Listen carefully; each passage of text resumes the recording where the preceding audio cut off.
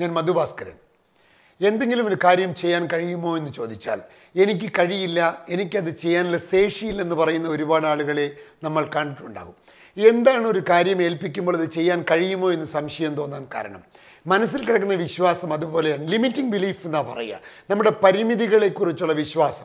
എനിക്ക് ഇതിന് സാധ്യമല്ല എനിക്ക് അതിനുള്ള കഴിവില്ല എന്ന വിശ്വാസമാണ് നമ്മളെ അത് ചെയ്യിപ്പിക്കാത്തത്. ചെയ്യാൻ കഴിവില്ലാത്തത് കൊണ്ടല്ല ചെയ്യാൻ കഴിയില്ലെന്ന വിശ്വാസമാണ് ഇതിന് തടസ്സം എന്നതാണ് സത്യം. ചരിത്രത്തിൽ ഒരുപാട് തെളിവുകൾ നമുക്ക് കണ്ടെത്താൻ കഴിയും. നിങ്ങൾ ഇന്റർനെറ്റിൽ ചെന്നിട്ട് the greatest events in the sports history എന്നടിച്ചാൽ ഞാൻ പറയാൻ പോകുന്ന ഈ കാര്യം നിങ്ങൾക്ക് കാണാവുന്നതാണ്. മനുഷ്യന് ഒരു മൈൽ ദൂരം നാല് മിനിറ്റിന് താഴെ ഓടാൻ കഴിയില്ലെന്ന് ശാസ്ത്രജ്ഞർ വിളിച്ചു പറഞ്ഞു. കാരണം മനുഷ്യന്റെ ശരീരഘടന അത്ര വേഗത്തിൽ ഓടാൻ അനുയോജ്യമല്ലെന്നും അവന്റെ ഹൃദയം അത് താങ്ങില്ലെന്നും അവന്റെ എല്ലിന്റെ ഘടന അത്ര വേഗത്തിൽ ഓടുവാൻ പര്യാപ്തമല്ലെന്നും ശാസ്ത്രം പറഞ്ഞു. പക്ഷേ ആയിരത്തി തൊള്ളായിരത്തി അമ്പത്തി നാല് മെയ് മാസം ആറാം തീയതി ചരിത്രത്തിലാദ്യമായി റോജർ ബെനിയസ്റ്റർ എന്ന് പറയുന്ന ഒരു ഇരുപത്തിയഞ്ച് വയസ്സുകാരൻ ഇംഗ്ലണ്ടിൽ ഓക്സ്ഫോർഡിൽ വച്ച് ചരിത്രത്തിൽ ആദ്യമായി ഒരു മൈൽ ദൂരം മൂന്ന് മിനിറ്റ് അമ്പത്തി ഒമ്പത് പോയിന്റ് നാല് സെക്കൻഡിൽ ഓടി അവസാനിപ്പിച്ചപ്പോൾ ചരിത്രമൊന്ന് കിടുങ്ങി. കാരണം മനുഷ്യന് നാല് മിനിറ്റിന് താഴെ ഒരു മൈൽ ദൂരം ഓടാൻ പറ്റുമെന്ന് റോജർ ബെന്നിയസ്റ്റർ എന്ന് പറയുന്ന ചെറുപ്പക്കാരൻ നമ്മളെ ബോധ്യപ്പെടുത്തി തന്നു. ഏറ്റവും രസകരമായ വസ്തുത അതിനുശേഷം നടന്ന കാര്യത്തിലാണ്. റോജർ ബെന്നിയസ്റ്റർ അങ്ങനെ ഓടുന്നതിന് മുമ്പ് വരെ ലോകത്ത് ആർക്കും അസാധ്യമെന്ന് പറയപ്പെട്ടിരുന്ന ആ സാധനം റോജർ ബെന്നിയസ്റ്റർ സാധ്യമാക്കിയതിന് ശേഷം നാൽപ്പത്തി ആറാം ദിവസം ഒരു ഓസ്ട്രേലിയക്കാരൻ നാല് മിനിറ്റിന് താഴെ ഓടി. കഴിഞ്ഞ് അറുപത്തിരണ്ട് കൊല്ലത്തിനിടയ്ക്ക് ഏകദേശം ആയിരത്തി ഇരുന്നൂറ് പേർ നാലായിരം തവണയിൽ കൂടുതൽ നാല് മിനിറ്റിന് താഴെ ഒരു മൈൽ ദൂരം ഓടി എന്നാണ് ചരിത്രം രേഖപ്പെടുത്തുന്നത്. എന്റെ ചോദ്യം വളരെ പ്രസക്തമാണ്.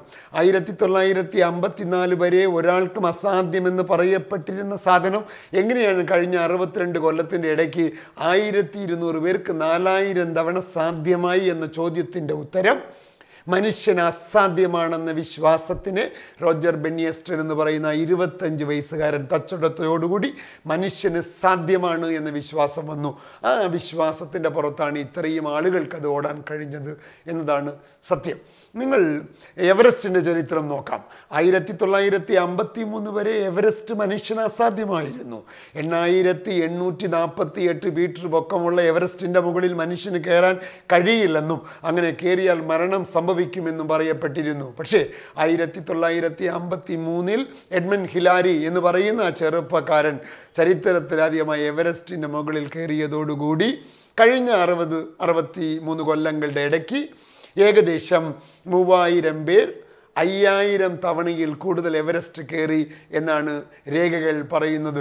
അതിൽ പതിമൂന്ന് വയസ്സുകാരനുണ്ടായിരുന്നു എഴുപത്തിയാറ് വയസ്സായ പ്രായമായ മനുഷ്യനുണ്ടായിരുന്നു രണ്ട് കണ്ണുകളുമില്ലാത്തവരുണ്ടായിരുന്നു എങ്ങനെയാണ് ആയിരത്തി തൊള്ളായിരത്തി അമ്പത്തി മൂന്ന് വരെ മനുഷ്യന് അസാധ്യമായിരുന്ന കാര്യം? കഴിഞ്ഞ അറുപത്തി മൂന്ന് കൊല്ലത്തിനിടയ്ക്ക് എങ്ങനെയാണ് അയ്യായിരം തവണ നടന്നു എന്ന് ചോദിച്ചാൽ മനുഷ്യന് പറ്റില്ലെന്ന് പറഞ്ഞ വിശ്വാസത്തിനെ ഒരു മനുഷ്യൻ തച്ചോടച്ചപ്പോൾ ഈ ലോകത്തിന് സാധ്യമാണ് എന്ന് വിശ്വാസം വന്നു. ഇങ്ങനെ നമ്മുടെ പരിമിതികളെക്കുറിച്ചുള്ള ബോധമാണ് നമുക്ക് അസാധ്യമാണ് എന്ന ചിന്ത ഉണ്ടാക്കുന്നത് എന്നാണ് ഒരു രസകരമായ ഒരു ഉദാഹരണം പറയാം.